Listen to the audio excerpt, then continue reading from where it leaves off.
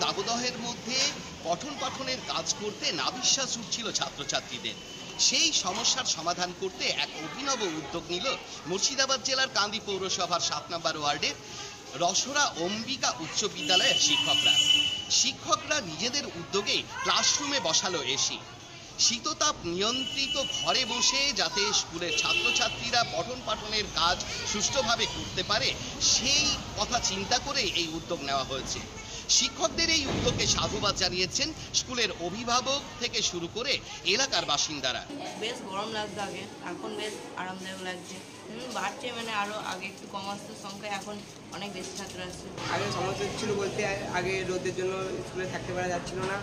দোতলার রুমগুলো খুব প্রচণ্ড গরম, তাই জন্য আমাদের স্যাররা একটা বুদ্ধি খাটিয়ে আমাদের জন্য এসি রাখি এসি বসানোর সিদ্ধান্তটা নেওয়া হয়েছে প্রথমত প্রচণ্ড গরম। এই এক্সেসিভ হিটের জন্য স্কুলের ছাত্র সংখ্যা দিন দিন কমে যাচ্ছে।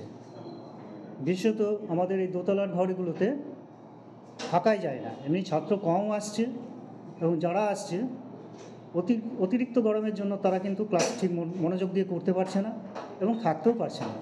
আমাদের ছাত্র সংখ্যা প্রায় সাড়ে নশোর কাছাকাছি এবং তিন অ্যাটেন্ডেন্স হওয়ার জন্যই এবং ছাত্ররা যাতে একটা ভালো কমফর্টেবল অ্যাটমসফিয়ারের মধ্যে পাঠদান গ্রহণ করতে পারে সেই জন্যই আমাদের এই উদ্যোগ। শিক্ষকদের আর্থিক সহায়তায় এই মুহূর্তে রসরা অম্বিকা উচ্চ বিদ্যালয়ের মোট আটটি শ্রেণীকক্ষ শীততাপ নিয়ন্ত্রিত করা সম্ভব হয়েছে।